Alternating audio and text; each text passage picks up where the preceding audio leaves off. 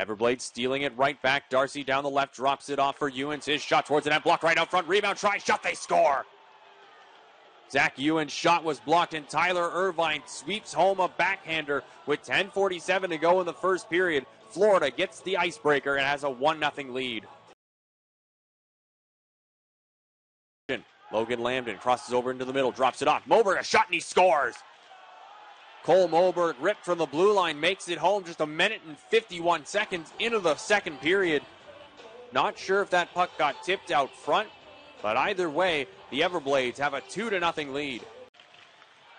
Theo Charitis up the ice, shot on stop, rebound, they score. With just 64 seconds left to go in the second period, a rebound opportunity pushed home by Aaron Nazarian, and the Jacksonville Icemen get a big goal for themselves, the biggest of the season.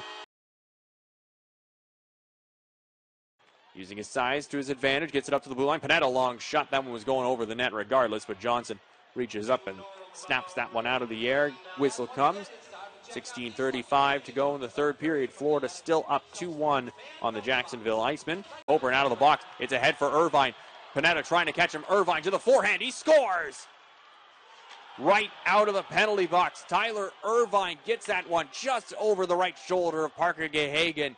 And the Everblades, after a huge penalty kill, push their lead back up to two. 3 1 Florida with 8.41 to go in the third. Face off won by the Iceman.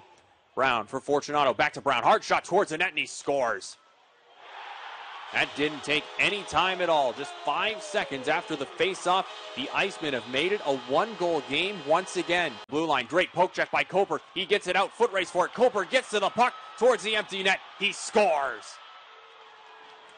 Levko Koper, great defensive play, and the Everblades get it right back. An empty netter for Koper, his second of the playoffs.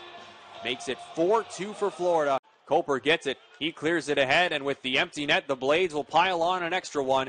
Irvine getting the hat trick, the first hat trick for the Blades in the playoffs this year. Tyler Irvine pots the extra one to just put a cherry on top of the Everblades